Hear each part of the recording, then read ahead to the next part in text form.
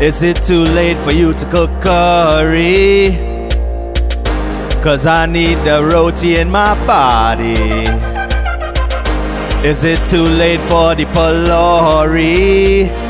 So turn on the pot and bubble it somehow. Got Netflix and roti going down right now.